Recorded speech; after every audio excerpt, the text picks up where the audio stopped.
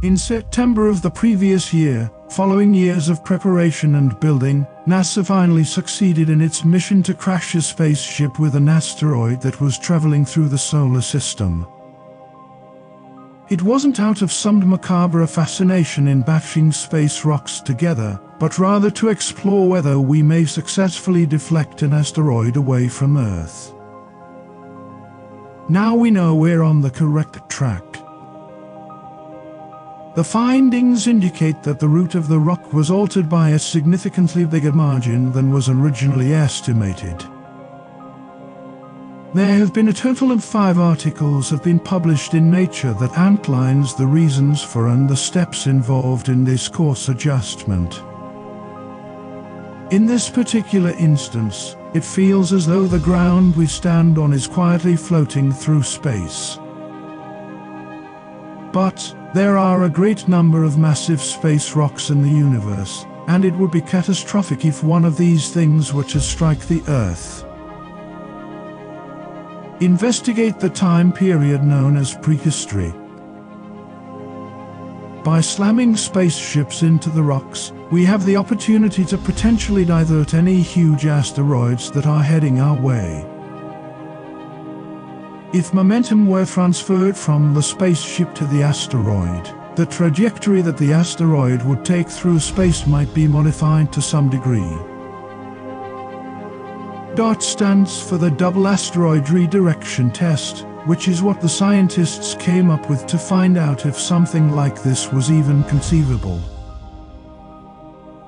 A target turned out to be the diminutive moon Dimorphos, which travels in orbit around the larger asteroid Didymos.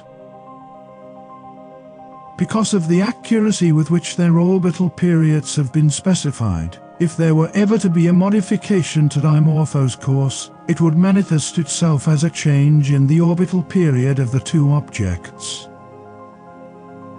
Didymos, whose circumference is approximately 780 meters, 2,400 feet, is circumnavigated by Dimorphos, whose diameter is approximately 160 meters, 525 feet, approximately every 11.9 hours or so.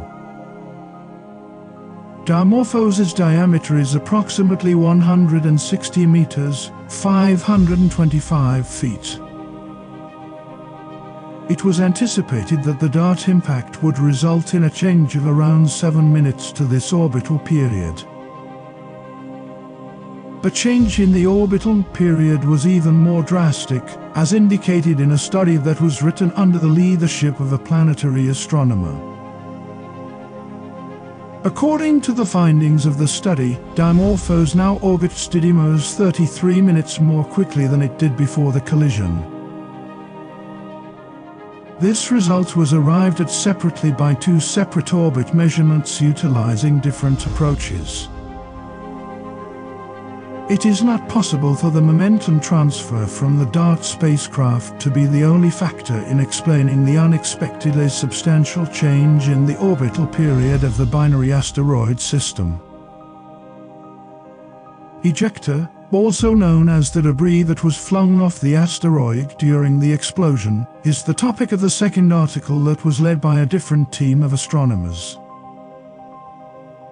Not only did Dimorphos burst upon impact, but it also continued to produce dust tails for almost two weeks afterwards, behaving in a manner remarkably similar to that of a very dry comet. A third study was written by a different team of astronomers who looked at the light reflected off of Dimorphos before, during, and after the impact.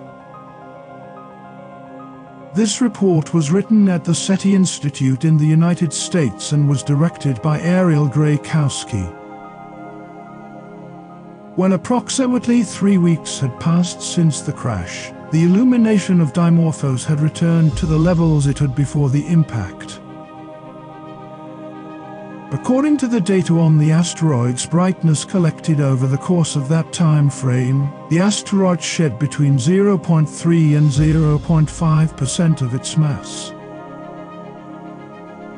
Researchers at the Applied Physics Laboratory at Johns Hopkins University, led by astronomer Andrew Cheng, discovered that the ejecta was the primary source of the orbital perturbation of the twin asteroid. This discovery was made by the researchers. At the moment of impact, more energy was transferred to Dimorphos by the debris that was blasted from the DART spacecraft than by the DART spacecraft itself.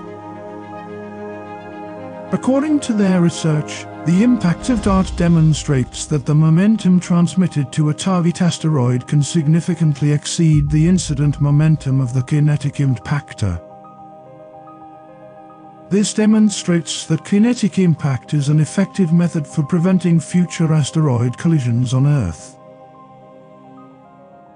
At long last, a group of researchers led by a planetary scientist managed to piece together the data in order to reconstruct the impact event. This involved determining the sequence of events leading up to the impact, characterizing the impact site in great detail, and determining the dimensions and form of Dimorphos. The findings of their investigation appear to be positive. The human race is in a position to efficiently alter the path of the asteroid without having to first send out an expensive and time-consuming research trip to learn more about the asteroid's composition and the conditions that exist on its surface. If everything went according to plan, a mission to deflect an asteroid would be carried out several years before the anticipated collision. We are extremely fortunate to live in this day and age because it is highly unlikely that any asteroids will pose a threat to Earth for at least another hundred years. This gives us some breathing room to execute a large number of reconnaissance flights to any prospective dangers in the periphery, which increases our chances of a successful deflection in the far future. Because of this, the data that we obtained from DART is extremely valuable. It will assist us in modeling and planning for future asteroid deflections in the event that we ever require them, which will allow us to better anticipate the outcomes of crashing spaceships into asteroids. By successfully colliding the DART spacecraft with the planet Dimorphos and measuring the resulting change in Dimorphos' orbit, astronomers demonstrate that kinetic impactor technology is a plausible method that may conceivably be used to defend Earth from potential threats.